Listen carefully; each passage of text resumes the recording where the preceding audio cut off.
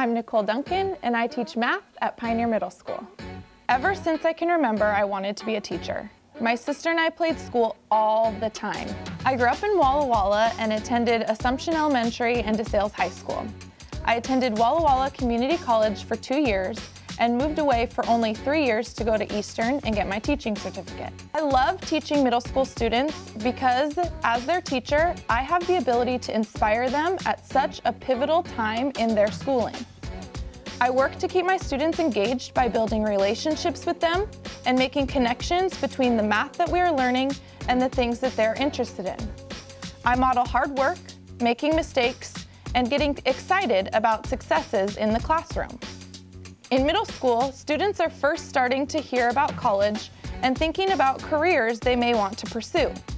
As a teacher, I'm always looking to grow the entire student so that not only will they be successful in the Walla Walla public school system, but they will find success in whatever their future holds for them. I'm Nicole Duncan, and this is why I teach.